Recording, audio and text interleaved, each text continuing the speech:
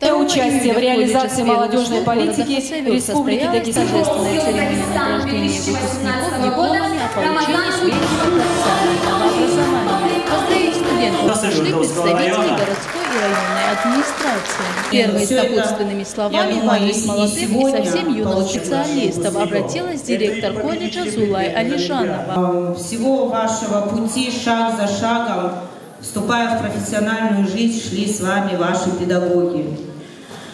Да, порой они были, вам казалось, необъективны, да, были серьезные нравоучения, были порой они нудные, но все это, я думаю, если не сегодня, получив диплом, но с годами вы уже поймете, что все это было только для вас и ради вас.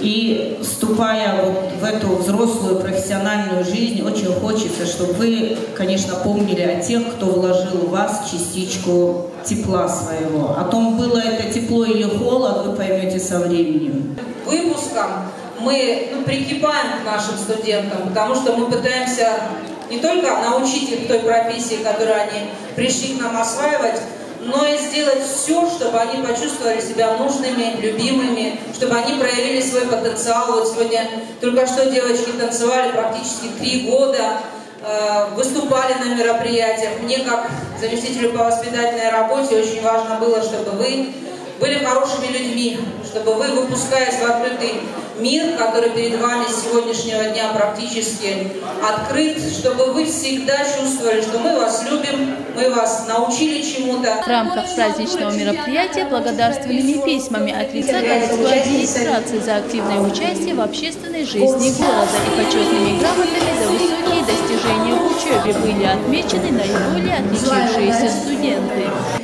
Вы на сегодняшний день приобрели самые востребованные профессии. А насколько востребованными специалистами станете вы на рынке труда, зависит все от вас. Байсултановой Седи Майербековне. Мужчина у нас активный участник всех городских, даже республиканских мероприятий, поэтому данная награда э, адресная, скажем. Также Республиканский молодежный центр отметил благодарственным письмом Байсултанову Вазипат Гайрбековну.